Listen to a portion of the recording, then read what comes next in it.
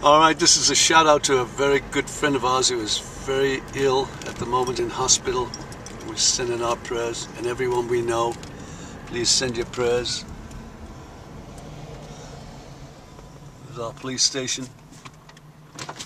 We're having a good time with our police these days. They make wonderful musicals with us, whether they want to or not. I put them in musicals all the time.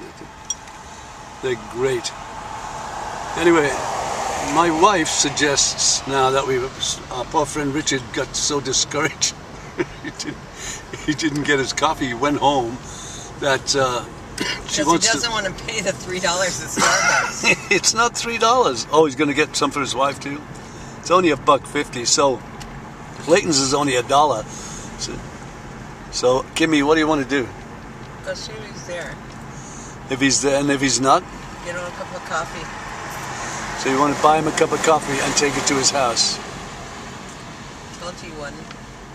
Yeah, you didn't go. Okay, so we're gonna go get Yeah, Richard. because I watched the cars. Yeah, but see, uh, what what would I know? What, how, which coffee would I get him? How would I know?